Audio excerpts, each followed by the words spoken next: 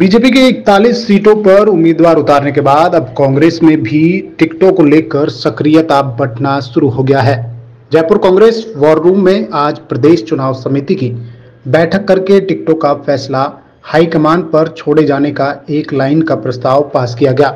इसके बाद कल दिल्ली में गौरव गोगाई की अध्यक्षता में स्क्रीनिंग कमेटी की बैठक होगी। कांग्रेस इस बार आधी सीटों पर सिटिंग डेटिंग फॉर्मूले पर विचार कर सकती है। इस बैठक के बाद कांग्रेस में टिकटों के लिए पूरी एक्सरसाइज दिल्ली के लिए स्थानांतरित हो जाएगी। स्क्रीनिंग कमेटी की लगातार बैठक की चलेंगी। इसके बाद अगले सप्ताह कांग्रेस की केंद्रीय चुनाव समिति की बैठक होगी और उसके बाद जारी होगी उम्मीदवारों की पहली लिस्ट पहली लिस्ट में किसका नाम आता है और किस पर डिलीट बटन दबाया जाता है, यह तो आने वाला वक्त ही बताएगा।